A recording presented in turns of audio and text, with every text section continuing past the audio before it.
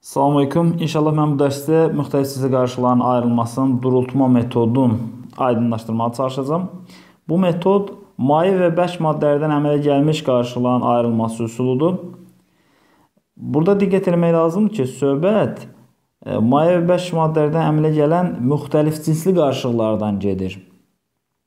Yəni biz əgər maye və bərk maddədə əmələ gələn eyni cinsli qarışığa bu üsulu tətbiq etsək ayırmaq mümkün deyil. Məsələn, deyək ki, xörək duzu ilə suyun qarışığını biz durultma ilə ayıra bilmərik, çünki o eyni cinsli qarışıq əmələ gətirir. Və ya şəkər ilə suyun qarışığı eyni cinsli qarışıq əmələ gətirdiyindən onu durultma üsulundan ayıra bilmərik.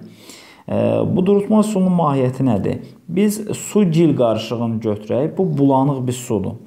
Su gil qarışığı ümumiyyətlə bulanıq bir sudur.